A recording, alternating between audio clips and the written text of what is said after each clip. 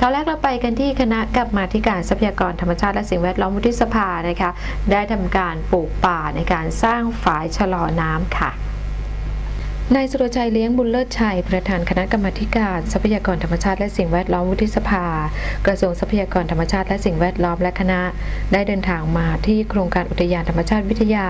ตามแนวพระราชดำริ สมเด็จพระเทพรัตนราชสุดาสยามบรมราชกุมารี บ้านห้วยผากตำบลสนพึ่งอำเภอสนพึ่งจังหวัดราชบุรี เพื่อทำการร่วมปลูกป่า และฝายชะลอน้ำที่บริเวณลำห้วยบ้านห้วยผาก ตามโครงการการมีส่วนร่วมในการอนุรักษ์สมดุลของระบบนิเวศและฐานทรัพยากร เพื่อพัฒนาที่ยั่งยืน และช่วยฟื้นฟูทรัพยากรธรรมชาติ ให้มีความอุดมสมบูรณ์และใช้ประโยชน์ได้อย่างยั่งยืน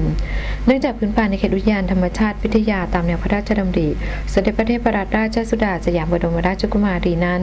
เป็นป่าต้นน้ำของแม่น้ำพาชี ซึ่งมีความสำคัญยิ่งต่อความเป็นอยู่ของประชาชน จึงต้องช่วยกันอนุรักษ์ความสมดุล และความอุดมสมบูรณ์ของป่าไว้ โดยมีนายนรงค์พลละเอียดรองผู้ว่าราชการจังจังหวัดราชบุรีคอยให้การต้อนรับ